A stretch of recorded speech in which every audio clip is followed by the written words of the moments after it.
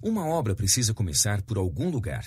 E ainda que pareça o começo, também poderia ser o fim de um longo processo de amadurecimento, ou mesmo a razão final do desejo que me trouxe até estas folhas, antes brancas. Dei forma às palavras compondo frases inteiras ao acaso, até onde me lembro, vindas de outras obras já completas, outras imaginadas e até mesmo reais.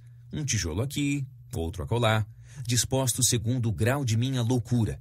Quero dizer, antes que alguém se engane ou procure nestas linhas que seguem encontrar razões pessoais para acreditar, mesmo que parcialmente nesta história, devo esclarecer: o que será posto não se trata de nada menos que uma meia-verdade.